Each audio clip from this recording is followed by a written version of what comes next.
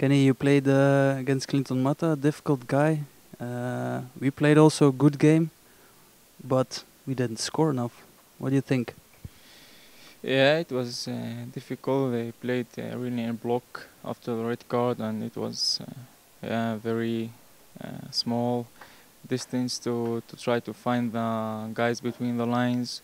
And yeah, but okay, I think uh, we still have one more chance next game to win and to uh, be sure in the th- uh, third uh, position. So yeah, let's hope that we can do it.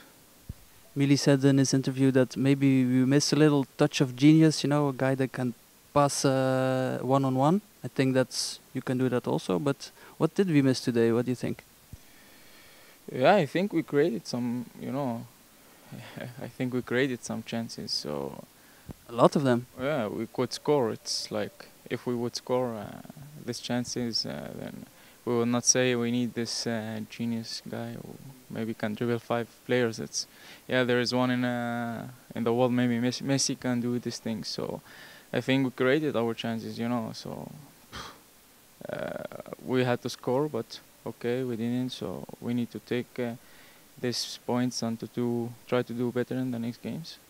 How do you feel now that you're back in in the team again? Yeah, I'm happy. Yeah, after injury, so um, I feel good, and yeah, hopefully it will uh, stay good uh, for a long time. So. Okay, thank you, Kenny.